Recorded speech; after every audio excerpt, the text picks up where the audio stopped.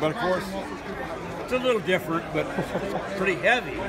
Looks like it's it's been, not, uh, looks like it's been remolded to Well, death. the- ours were just sent out. Uh, this was uh, shiny white lacquer, and this was just painted. And then when they go to England, they can do what they want to age them with. But this is an original. Did you hold it? That's the. uh, That's an original. And this is the uh, uh, early. I I designed. Uh, I designed the holster to go on the gun, and uh, just one of the early holsters.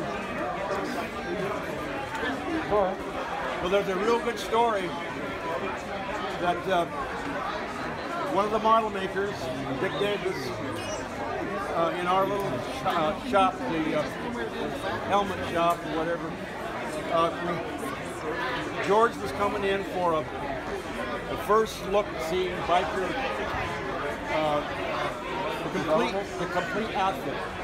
And so Dick Davis couldn't, he was an average, could wear the outfit. He had it on. We didn't have the gun and holster on. So they said, well, look, we want to get this put on real quick.